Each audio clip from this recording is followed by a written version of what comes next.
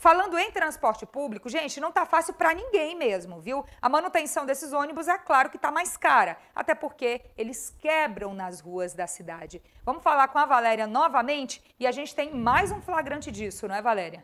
Pois é, se de um lado a gente falou de lotação, né, de cobrança de mais frota de veículo, do outro a gente tem mais transtornos causados ao, aos passageiros, né, por causa de ônibus atolado em ruas da cidade.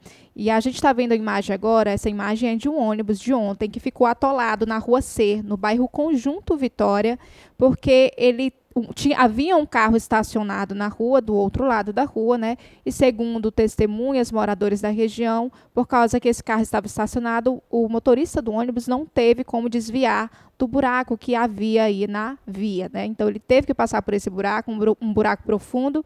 O, o ônibus acabou não conseguindo sair desse buraco, ficou preso e aí precisou de ajuda depois para ser retirado de lá, viu? Causando mais transtornos aí aos passageiros. A gente entrou em contato com a Sinfra para verificar se há, se há algum projeto de melhoria para essa, essa região e a Secretaria de Infraestrutura respondeu dizendo que, por volta, dentro de 10 dias, equipes da Sinfra vão estar trabalhando lá na região.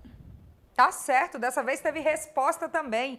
Olha que coisa boa, né? Quando tem a reclamação e tem a resposta de quem tem a obrigação de responder. Digo mais uma vez, a resposta não é para a gente, é para o morador daquela rua, é para quem está sofrendo ali sem conseguir nem tirar o carro da garagem por causa do buraco. Produção, coloca a, imagem na tela novamente, que dá para perceber, gente, que o buraco vai de um lado a outro da via. Isso aí prejudica demais o trânsito, quebra veículos, como no caso desse ônibus que ficou preso aí e, claro, prejudica também os passageiros, as pessoas que têm compromissos para chegar e aí ficaram nessa situação. Que bom que veio a resposta e a gente vai continuar acompanhando. Tomara que resolva mesmo a situação nesse ponto aí do conjunto Vitória.